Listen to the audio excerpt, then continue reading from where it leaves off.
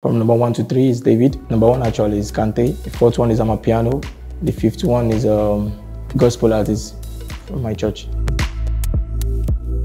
Prayer. Number two, my Bible. Number three is funny, but uh, bread and beans. I grew up with that. Number four, water. Number five, football.